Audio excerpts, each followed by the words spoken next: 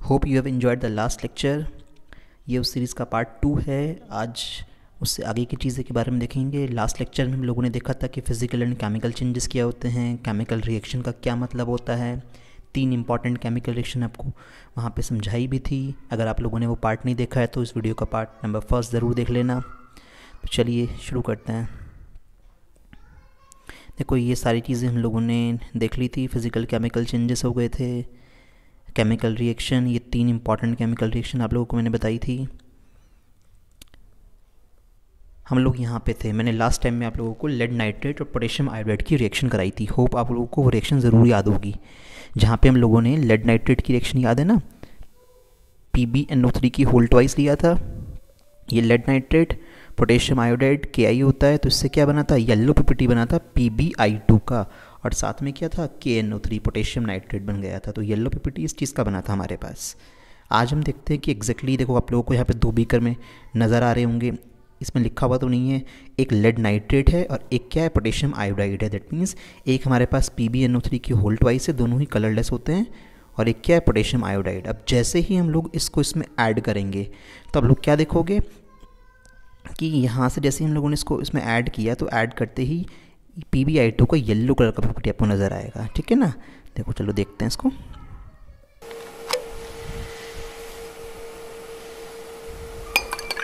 देखिए yellow PPT आ गया एकदम से। तो ये येलो पीपीटी किसका है? पी बी आई टू का। समझे ना?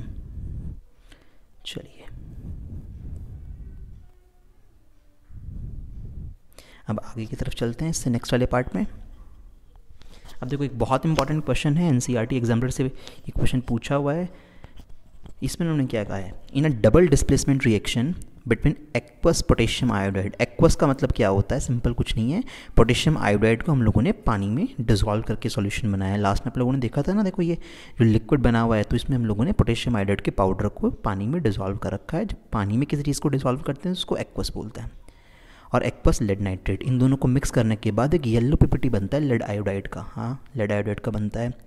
While performing the activity lead nitrate is not available अगर लैब में लेड नाइट्रेट नहीं है और आपको एक्सपेरिमेंट परफॉर्म करना है तो इनमें से कौन सा सब्सटेंस हम यूज़ कर सकते हैं? अब देखो लेड नाइट्रेट यानी लेड तो चाहिए चाहिए। लेड इसमें भी नहीं आता, इसमें भी नहीं आता। तो ये दोनों ऑप्शन तो हो गए कैंसिल अब इसके अलावा पॉसिबिलिटी है कि भाई इन दोनों में से कोई एक आंसर होना चाहिए। अब लेड सल्फेट और लेड एसिटेट अब इसमें बेसिक नॉलेज काम करेगी। देखो लेड सल्फेट में आप बता दूँ। लेड सल्फेट जो है वो इनसॉल्यूबल होता है। इनसॉल्यूबल इन वाटर ये पानी में घुलेगा ही नहीं। और जब ये पानी में घुलेगा नहीं तो उसका एक्वा सॉल्यूशन कैसे बनाओगे?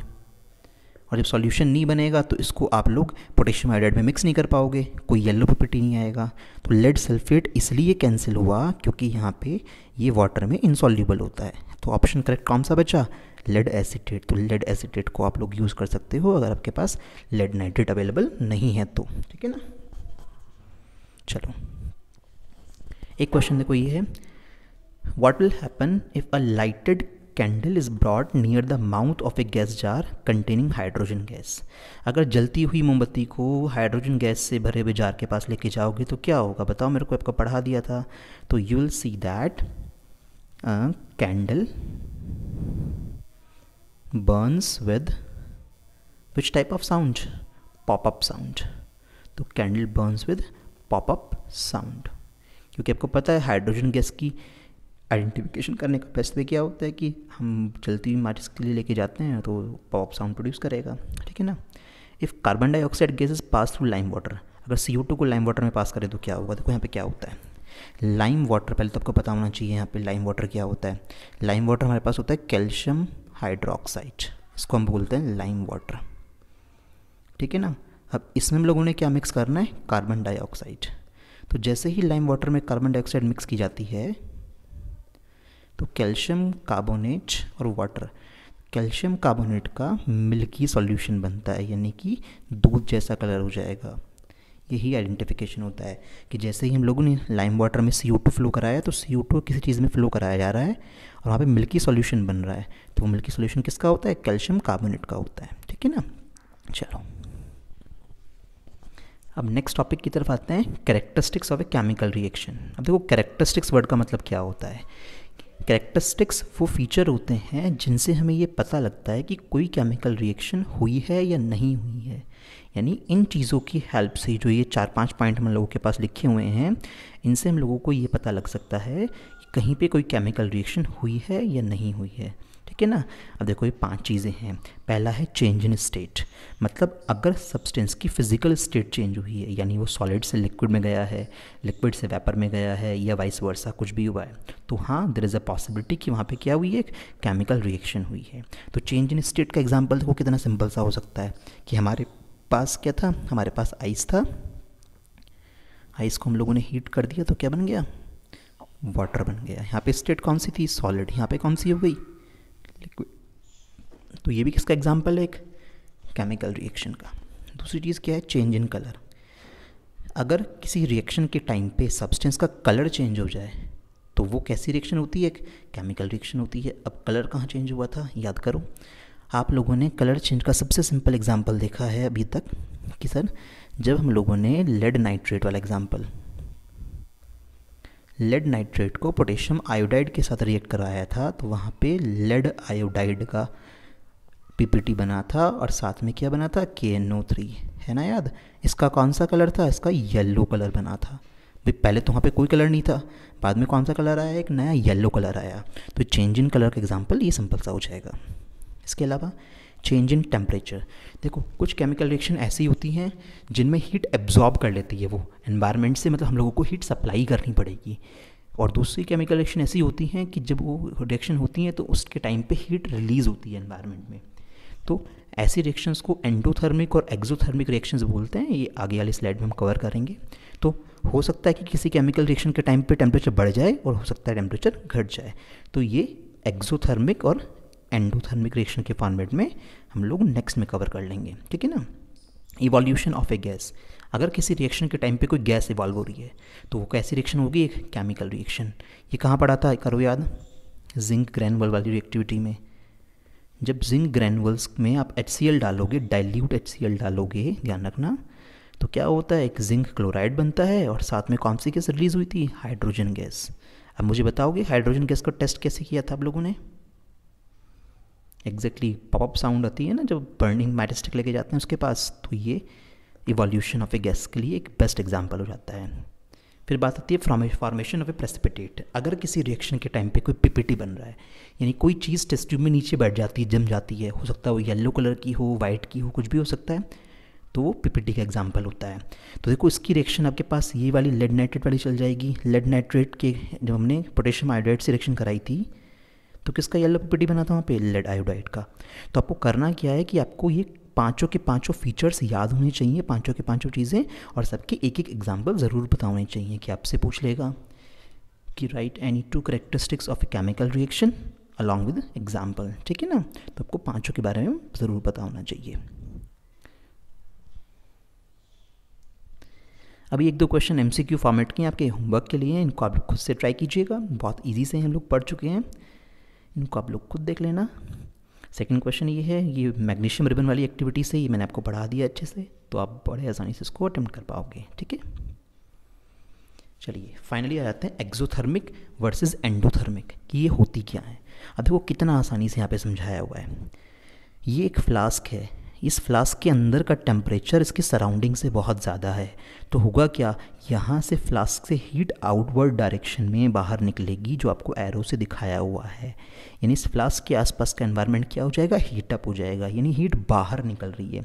हीट बाहर निकल रही है तो कैसी रिएक्शन होती है? एक्जोथर्मिक रिएक्शन होती है। एक्जो मतलब एग्जिट होना हीट का एंडोथर्मिक में क्या होगा? एंडोथर्मिक में आपको रिएक्शन को कराने के लिए आपको हीट सप्लाई करनी पड़ेगी। मतलब हीट रिलीज़ नहीं होगी, हम लोगों को हीट सप्लाई करनी पड़ेगी, तब जाके वो रिएक्शन कैरी आउट हो पाएगी। ठीक है? उसको बोलते हैं एंडोथर्मिक रिएक्शन एंडो मतलब एंट्री एंडो मतलब एंट्री एक्सो मतलब एग्जिट हीट बाहर निकल रही है तो एक्जोथर्मिक और एंट्री कर रही है तो एंडोथर्मिक अब इसके एग्जाम्पल्स बहुत अच्छे से पता होने चाहिए। चलो देखते हैं इनको। एक्जोथर्मिक रिएक्शन पे आते हैं। एक्जोथर्मिक रिएक्शन किसको बताया था हम लोगों ने कि ऐसे रिएक्शन जिसमें हीट एग्जिट होती है रिलीज़ होती है। तो देखो, कार्बन को जब जलाओगे, बर्न करोगे ऑक्सीजन के प्रेजेंस में तो क्या होता है? सी गैस निकलती है और साथ में काफ़ी ज़्यादा हीट भी निकलती है। तो हीट निकल रही है रिलीज़ हो रही है। तो कौन सी रिएक्शन हुई? है एक्जोथर्मिक ठीक है? और एक एक्टिविटी आप लोगों ने ऑलरेडी पढ़ी थी जिंक की हाइड्रोक्लोरिक एसिड से रिएक्शन तो जिंक क्लोराइड बनता है हाइड्रोजन गैस बनती है और उसमें भी फ्लास्क गर्म हो जाता है। ध्यान रखिएगा, उस रिएक्शन के टाइम पे पूरा फ्लास्क हीटअप हो जाता है। तो यानी कि हीट बाहर रिलीज़ हो रही है।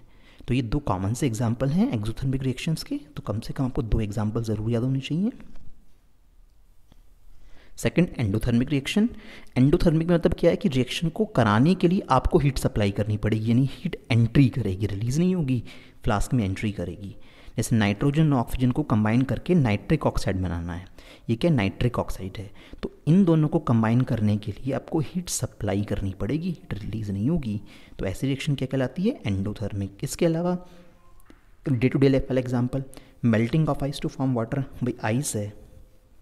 आइस से वाटर बनाना है। तो हीट तो सप्लाई करनी पड़ेगी ना, भले ही वो एनवायरनमेंट से सप्लाई करनी पड़े, भले ही आप आइस को उठा के गैस के चूल्हे के ऊपर रख दो। तो हीट जब आइस को मिलेगी, तभी तो उसके मॉलिक्यूल दूर दूर होंगे और वाटर बनेगा। तो मेल्टिंग ऑफ़ आइस भी कैसा एग्ज़ाम्पल है? एंडोथर्मिक रिएक्शन का एग्ज़ाम्पल है। तो बिल्कुल क्रिस्टल क्लियर आपको आइडिया होना चाहिए एंडोथर्मिक और एक्सोथर्मिक रिएक्शन के बारे में। देखिए बोर्ड का एक इंपॉर्टेंट क्वेश्चन है, जो एग्ज़ाम से पूछा जाता है। कि भाई why is respiration and exothermic reaction जो रेस्पिरेशन होता है रेस्पिरेशन बायोलॉजी में एक चैप्टर है पूरा, वहाँ पढ़ेंगे। रेस्पिरेशन को एक्जोथर्मिक क्यों बोलते हैं? अब रेस्पिरेशन का देखो मतलब क्या होता है? सिंपल बहुत आसानी से करके समझाता हूँ आपको। आप लोग खाना खाते हो। आप लोगों ने खाना खाया, आपने रोटी खाई, दाल चावल खाए, जो भी आपने खाना खाया, वो खाना बॉडी में जाके डाइजेस्ट होगा। डाइजेशन वाले प्रोसेस के बाद वो खाना किसमें कन्वर्ट होगा? ग्लूकोज में। ये है ग्लूकोज आप जो कुछ भी खा रहे हो फाइनली किसमें कन्वर्ट हो जाएगा? ग्लूकोज में कन्वर्ट हो जाएगा, ठीक है? अब ग्लूकोज में कन्वर्ट हुआ एनर्जी थोड़ी ना मिली है बॉडी को बट खाने से तो एनर्जी मिलती है। तो होता क्या है? उस ग्लूकोज के ऊपर ऑक्सीजन के मॉलिक्यूल्स अटैक करते हैं और उस ग्लूकोज को छोटे छोटे टुकड़ों में तोड़ के उससे क्या प्रोड्यूस करते हैं? एनर्जी प्रोड्यूस करते हैं और ये एनर्जी एटीपी के फॉर्मेट में माइट्रोकॉन्ड्रिया के अंदर जाके स्टोर हो जाती है। नाइन्थ में आप लोगों ने एटीपी के बारे में पढ़ रखा होगा। तो ये एनर्जी रिलीज़ हुई है। मतलब ग्लूकोज का ब्रेकडाउन हुआ है। ग्लूकोज के ब्रेकडाउन से क्या रिलीज़ हुई है यहाँ पे? एनर्जी रिलीज़ हुई है। और ये दो वेस्ट मटेरियल है जो हमारी बॉडी से एग्जिट कर दिए जाते हैं। तो देखो सिंपल एक्जोथर्मिक में आपको क्या बताया था? एग्जिट होती है। हीट या एनर्जी रिलीज़ होती है। तो यहाँ पे भी यही हुआ है। ग्लूकोज पे जब ऑक्सीजन ने अटैक किया तो क्या रिलीज़ हुई? एनर्जी बनी। और ये एनर्जी बॉडी के अंदर एटीपी के फॉर्मेट में रहती है। तो ये रिएक्शन यानी रेस्पिरेशन बॉडी में कैसी रिएक्शन होती है? एक एक्सोथर्मिक रिएक्शन होती है। ठीक है? इंपॉर्टेंट क्वेश्चन है। बहुत अच्छे से ध्यान रखिएगा। Second example neutralisation reaction is an example of चार ऑप्शन दिए हैं। अब बात यह आती है सर न्यूट्रलाइजेशन किससे बोलते हैं? मैं तो पढ़ाया नहीं गया। देखो न्यूट्रलाइजेशन को क्या बोल, कैसे कहते हैं, बताता हूँ। हमारे पास एक एसिड है और एक बेस है। जैसे इन दोनों को मिक्स करेंगे तो हमारे पास सॉल्ट बनता है और वाटर बनता है। एक एग्जांपल से समझाता हूँ। एसिड सपोज़ हम लोग ले लेते हैं हाइड्रोक्लोरिक एसिड ठीक है? बेस हम ले लेते हैं सोडियम हाइड्रोक्साइड बेस अभी ध्यान रखिए, जिसमें ओ एच आयन होते हैं एसिड जिसमें एच वाले आयन होते हैं। ये बाद में आपको नेक्स्ट चैप्टर तक समझ में आ जाएगा। हाइड्रोक्लोरिक एसिड और सोडियम हाइड्रोक्साइड जैसे इनकी रिएक्शन होती है, एक सॉल्ट बनता है एन सोडियम क्लोराइड ये एन ए सी एल के साथ कंबाइंड हो गया। यहाँ पे क्या बचा? ओ एच और यहाँ पे क्या बचा? एच तो उसने क्या बना लिया? वाटर बना लिया। तो यहाँ पे जब भी एक एसिड और बेस की रिएक्शन होती है तो सॉल्ट और वाटर बनता है और साथ में क्या रिलीज़ होती है? साथ में हीट रिलीज़ होती है। ध्यान रखिएगा। तो कैसी रिएक्शन हुई? है एक एक्सोथर्मिक रिएक्शन होती है न्यूट्रलाइजेशन वाले प्रोसेस में। यानी जब भी एसिड और बेस को मिलाएँगे तो बॉन्ड टूटते हैं, जिसकी वजह से नए बॉन्ड्स क्रिएट पुराने बॉन्ड टूट जाएँगे ना, नए बॉन्ड क्रिएट होंगे। तो जब भी पुराने बॉन्ड टूट के इस तरह नए बॉन्ड क्रिएट हो रहे हो, अक्सर कैसी रिएक्शन देखने को मिलती है? एक्सोथर्मिक रिएक्शन देखने को मिलती है। ठीक है? Second one which of the following are exothermic process ये पूछा इनमें से कौन कौन से एक्जोथर्मिक प्रोसेस हैं हम लोगों के पास? तो फ़र्स्ट वन क्या है? Reaction of water with quick lime अब देखो क्विक लाइम क्या होता है? कैल्शियम ऑक्साइड होता है। कैल्शियम ऑक्साइड में जब पानी मिलाओगे तो बहुत ज़्यादा हीट रिलीज़ होती है। तो ये एक्जोथर्मिक रिएक्शन है। Yes dilution of an acid acid को डाइल्यूट करते हैं। जब एसिड को डाइल्यूट करते हैं तो एक ठंडे पानी का बीकर लेके उसके अंदर थोड़ा थोड़ा एसिड डालते हैं। तो उस सिचुएशन में भी काफ़ी सारी हीट रिलीज़ होती है। तो ये भी एक एक्जोथर्मिक रिएक्शन का एग्ज़ाम्पल है। एवापरेशन ऑफ़ वाटर सोच के बताओ एवापरेशन नाइन्थ में भी पढ़ा होगा। एवापरेशन में कोई भी लिक्विड वेपर बन के उड़ जाता है। और लिक्विड को वेपर में कन्वर्ट करने के लिए क्या चाहिए होगा? हीट चाहिए होगी, यानी हीट सप्लाई करनी पड़ेगी रिलीज़ नहीं होने की। तो एवापरेशन ऑफ़ वाटर एक्जोथर्मिक नहीं हुआ। कौन सा हुआ? एंडोथर्मिक हुआ। एंडो में अगर पूछा जाए तो ठीक है। फ़िलहाल ये एक्जो में नहीं आएगा।